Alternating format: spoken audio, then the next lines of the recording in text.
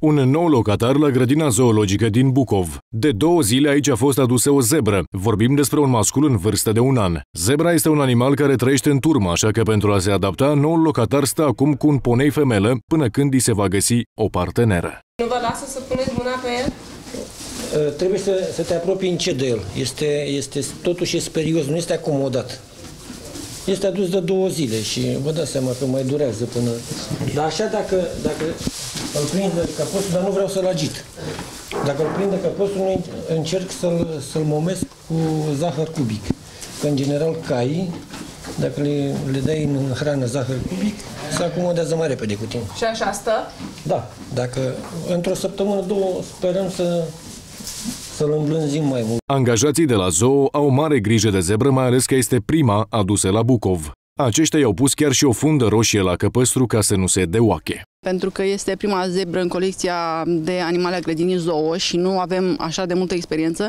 Ne-am consultat cu colegii de la grădinile care au ex- experiență, au zebre de mai mult timp în grădinile lor, pentru a stabili rația de zilnică de furaje, pentru a ne da informații la ce trebuie să fim atenți uh, în legătură cu comportamentul, să nu aibă semne de boală. Este un animal perfect sănătos și îl supraveghem cu atenție uh, non-stop, având în vedere că avem și schimb de noapte.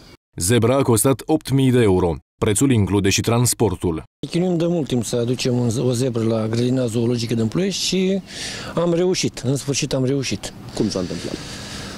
Am uh, cooptat o persoană care are o mini grădină zoologică și dânsul ne-a făcut o ofertă și noi am achiziționat-o. De unde este zebra?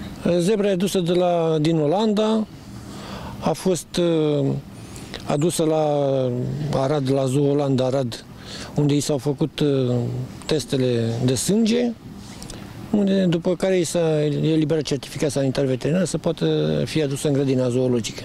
Din meniul zebrei nu lipsesc vitaminele și mineralele care o ajută să se mențină sănătoasă.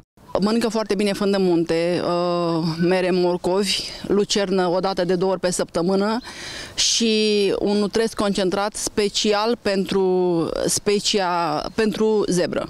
Zebra de la grădina zoologică Bucov se află acum în carantină. Angajații construiesc un adăpost care va fi gata în aproximativ o lună, apoi va putea fi văzută și de vizitatori. Între timp va avea loc botezul său. Copiii vor fi cei care îi vor găsi un nume.